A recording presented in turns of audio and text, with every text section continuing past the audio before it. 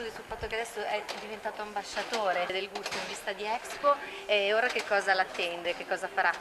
Eh, un po' di lavoro in più, per cui si fa una cosa bella vedere il Presidente della Regione che, che crede in questa manifestazione, che soprattutto crede nell'Expo, credo che sia il messaggio più bello e più importante che potesse dare. Comunque abbiamo visto si può essere fantasiosi anche con uh, dei panini, dei semplici panini. Sì, ma non è che ma non, non manca la fantasia o la creatività, manca solamente quella, quella, quella, spinta a crederci in maniera più decisiva e più concreta e portare a termine il lavoro.